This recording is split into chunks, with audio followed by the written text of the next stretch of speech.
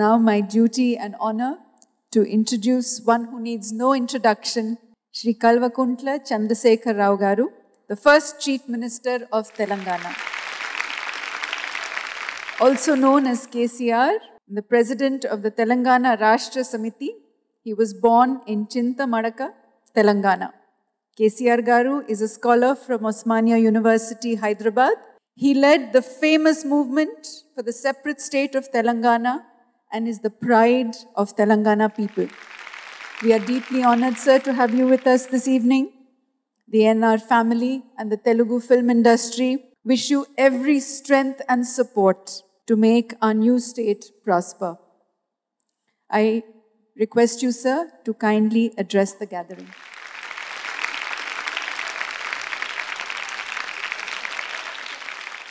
గౌరవనీయులు కేంద్ర మంత్రివర్యులు వెంకయ్య నాయుడు గారు గౌరవనీయులు సుబ్బరామిరెడ్డి గారు అక్కినేని వెంకట్ గారు నాగార్జున గారు సుశీల గారు the great legend of Indian cinema Amitabh Bachchan గారు. సభలో ఆశీనులైనటువంటి సోదరులు సోదరి మనందరికీ నమస్కారం. చాలా సంతోషం అపారమైనటువంటి అనుభవంతో అద్భుతమైనటువంటి నటనా కౌశలంతో తెలుగు సినీ ప్రపంచాన్ని పరిపాలించిన మహానటులు అక్కినేని నాగేశ్వరరావు గారి జీవిత సాఫల్య పురస్కారాన్ని నా చేతుల మీదుగా అమితాబ్ బచ్చన్కు అందించడం చాలా సంతోషంగా ఉంది. ఇప్పుడే వెంకయ్యనాయుడు గారు అన్నారు నాతో. సినిమాలు చూసే అలవాటు ఉందా? చూస్తున్నారంటే ఇప్పుడు లేదు చాలా రోజులైంది మానేసి అంటే రామారావు గారు నాగేశ్వరరావు సినిమాల వరకు చూసాం అని చెప్పి చెప్పడం జరిగింది. అమితాబ్ బచ్చన్ గారు అందరం కూడా ఆయన సినిమాలు చూసిన వాళ్ళం ఆనందించిన వాళ్ళం. భారతదేశ మహానటులలో సాటి లేనటువంటి మేటి నటుడుగా ఆయన లబ్ధ ప్రతిష్ఠుడు. సుబ్బరామిరెడ్డి గారి శ్లోకాలు వెంకయ్యనాయుడు గారి ప్రాసల తర్వాత మాట్లాడితే సిఆర్పిఎఫ్ లాఠీ చార్జ్ తర్వాత చీపురుపులతో కొట్టేట్టుకుంటుంది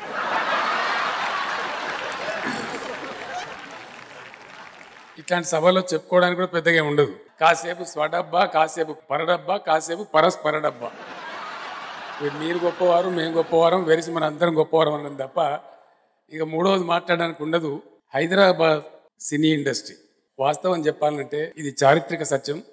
ప్రప్రథమంగా హైదరాబాదులో నివాసం ఏర్పరచుకున్న మేటి మహానటులు అక్కినేని నాగేశ్వరరావు గారు. ఆ రోజుకి ఎవరూ లేరు. వారు మొట్టమొదటి వచ్చింది బంజారా హిల్స్ కాదు. యాక్చువల్గా బేగంపేట ప్రాంతంలోని చీకోటి గార్డెన్స్ అనే ప్లేస్లో అక్కడ నివసిస్తూ మెడ్రాస్ వెళ్ళి షూటింగ్ చేసి వచ్చేవాళ్ళు కానీ నివాసం మట్టుకు హైదరాబాద్లో ఉండేవారు. ఆ తర్వాత బంజారా హిల్స్కు తర్వాత జూబ్లీ హిల్స్కు వారు మారిన విషయం మనకు తెలుసు.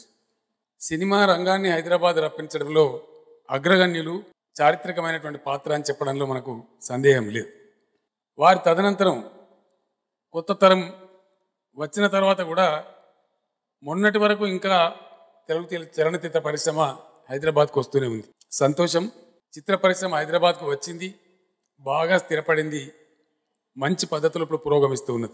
చాలా బాగా సెటిల్ అయిందనడానికి ఇప్పుడే అమితాబ్ బచ్చన్ గారితో మాట్లాడుతూ నేను తెలుసుకున్నాను. ముంబైలో ప్రొడక్షన్ అయ్యే సినిమాల కంటే కూడా మీ హైదరాబాద్లో ఉత్పత్తి ప్రొడక్ట్ అయ్యే సినిమాలు చాలా ఎక్కువ అని చెప్పి చెప్పడం జరిగింది. ఈ సందర్భంలో పెద్దలు రామోజీరావు గారు నేను అభినందిస్తా ఉన్నాను. ఇటీవల నేను రామోజీ ఫిలిం సిటీకి వెళ్ళి చూసి వచ్చాను. ఒక అద్భుతాన్ని సృష్టించారు ఆయన. హైదరాబాద్కు ఒక బ్రహ్మాండమైనటువంటి ప్రజెంటేషన్ ఇచ్చారు.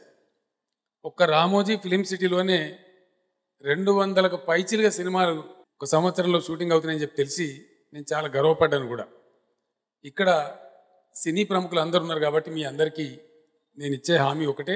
ఈ మధ్యనే చిరంజీవి గారు కలిస్తే ఒక ఫంక్షన్లో కలిస్తే నేను వారితో షేర్ చేసుకోవడం జరిగింది. త్వరలోనే సినీ ప్రముఖులందరితోని ఒక సమావేశాన్ని రాష్ట్ర ప్రభుత్వం ఏర్పాటు చేయబోతుంది. ఇక్కడ ఉన్నటువంటి పరిశ్రమ ఇంతకు వంద రెట్లు విస్తరించాలి. ఇంతకు వంద రెట్లు ముందుకు పోవాలి. దాని సుస్థిరత్వం కోసం ఒక అద్భుతమైనటువంటి సినిమా ఇండస్ట్రీకి ఆలవాలంగా ఉండడం కోసం ఏమేమి స్టెప్స్ తీసుకోవాలనో ప్రభుత్వ పరంగా మీకు ఏ సహాయాలు కావన్నో ఎటువంటి రాయితీలు కావన్నో వాటన్నిటిని కూడా కొంతమేరకు మేము ఆలోచిస్తూ ఉన్నాం. మిమ్మల్ని అందరినీ పిలిచి సమగ్రంగా దాన్ని చర్చించి ఆ విషయాలు మీతో షేర్ చేసుకొని మీరు చెప్పే అభిప్రాయాలను తీసుకొని మంచి పద్ధతుల్లో చిత్ర పరిశ్రమను తెలంగాణ ప్రభుత్వం అన్ని విధాలుగా ప్రోత్సహిస్తుందని సందర్భంగా నేను మీకు తెలియజేస్తూ ఉన్నాను.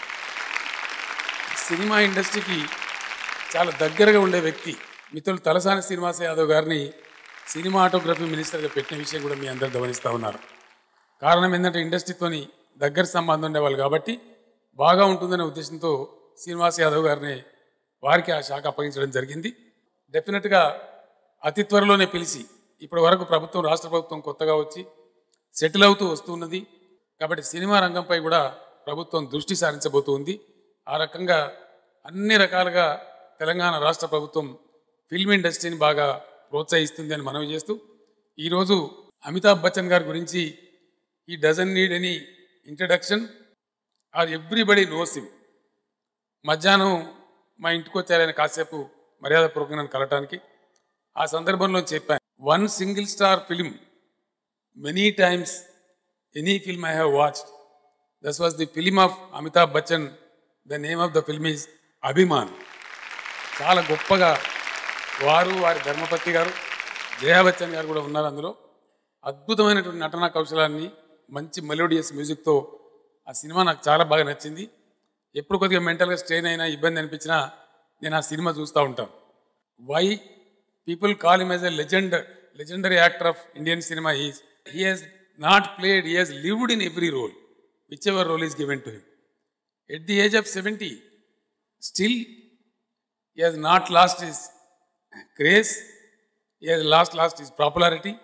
With the same craze, same popularity, he is being received by the audience. అంత గొప్ప నటుడు ఆయన నిజానికి I never thought that I will confer Padma Bhushan Akkineni Nageswara Rao's award to another Padma Bhushan of India mister Amitabh Bachchan I'm really happy very very happy ఇంత మంచి అకేషన్లోకి నన్ను పిలిపించి నా చేతుల మీదుగా ఈరోజు అమితాబ్ బచ్చన్ గారికి అవార్డు ఇప్పించినందుకు నేను మా నాగార్జునకి మా వెంకట్ గారికి కూడా కృతజ్ఞతలు తెలియజేస్తూ మీ అందరి దగ్గర సెలవు తీసుకుంటా ఉన్నాను.